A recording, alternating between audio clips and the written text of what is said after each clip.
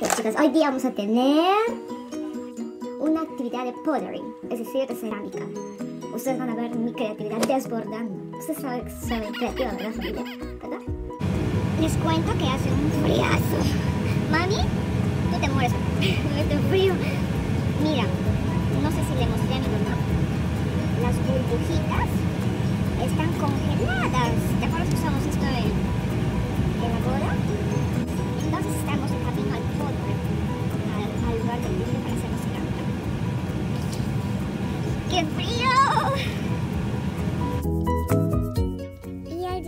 Lugar, lo primero que tuvimos que hacer fue escoger lo que vamos a pintar o decorar.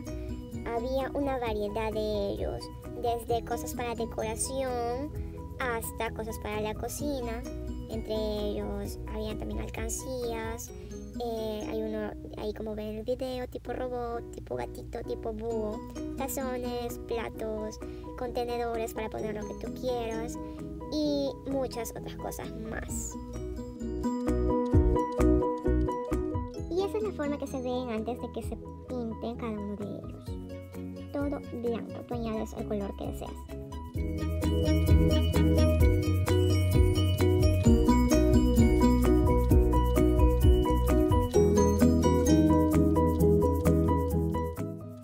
Y muchos de los diseños que hemos visto anteriormente, los estantes, se crean a través de estos moldes.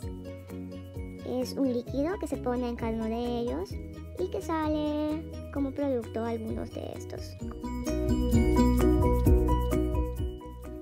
Y aquí están los de color blanquito, esos son los llamados huevos de Pascua.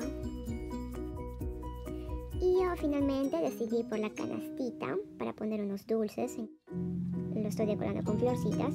Y Jeremías escogió esta tacita para que tome su café. Y bueno, los demás habrán escogido un caballito con su jinete. Ahí está Jonathan pintando un tazón. Ahí vemos las florcitas. Estoy filmando. ah, eso está bonito esa rosa.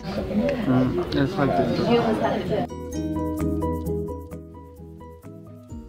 Y así es como se ve mientras lo vas pintando, como si fuesen colores opacos. Pero en realidad el producto final va a salir algo muy distinto, con mucho más brillo, mucho más color. Que les voy a mostrar, que se los voy a mostrar mm, al final del video, cómo han quedado. No se ve muy claro, pero la decoración en este modelito ha sido soplando burbujas.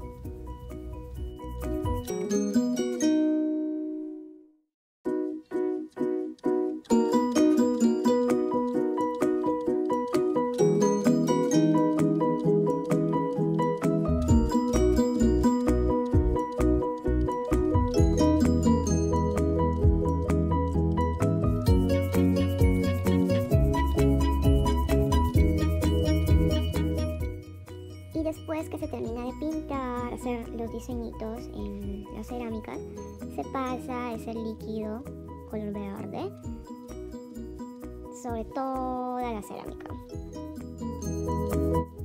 Y una vez que se ha pasado el líquido verde sobre las cerámicas, se va a esperar a que se seque. Creo que normalmente seca como 3-4 horas. Y lo van a pasar sobre el fuego para que tome su color original.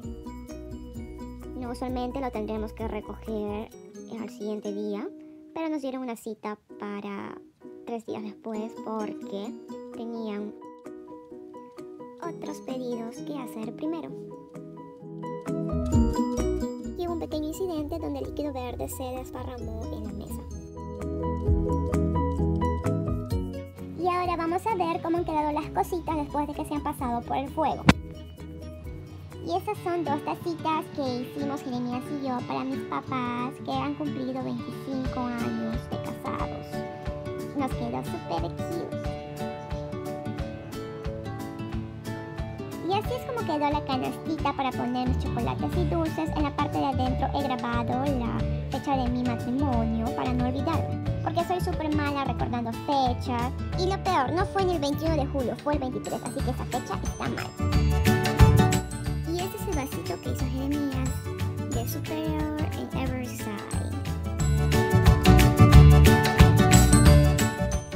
Entre otros objetos que hicieron los demás, tanto para la cocina como para decoración. Espero que se hayan divertido con este videito. Adiós.